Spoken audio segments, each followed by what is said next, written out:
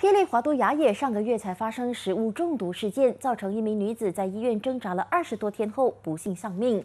没想到如今又传出类似事故，这一次中毒事件发生在打巴一所寄宿中学，共有四十三名学生和一名老师在吃了食堂提供的咖喱鸡和面包之后，陆续肚子疼，校方紧急将所有人送院治疗。目前还有三十三名学生必须留院观察。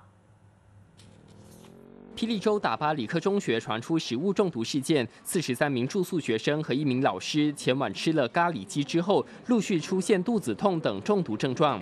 校方得知消息后，立刻将学生送医。虽然有十一个人获准回家休养，但有多达三十三个人必须留院观察。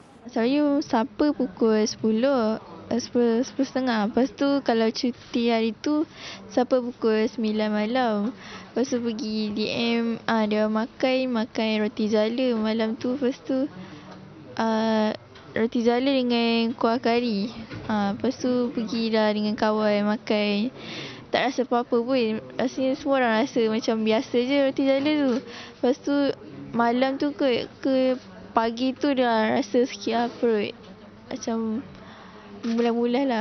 这是霹雳州一个月内第二宗大规模的食物中毒事件。负责卫生事务的州行政议员拿督马汉顺亲自到医院了解情况，而他调查后发现，这所出事的学校早在三年前就已经发生过类似情况，推测问题可能是因为冰箱故障。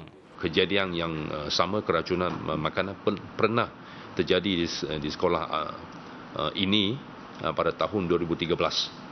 Dan caterer pada waktu telah di apa ni tidak disambung lah apa ni kontrak kita telah lihat bahawa tempat refrigerator refrigerator yang tak cukup sejuk 根据了解，霹雳州境内今年就有三所宗教学校发生了食物中毒事件，受影响的学生累计达五十四人。马汉顺因此促请各方关注卫生状况，避免悲剧发生。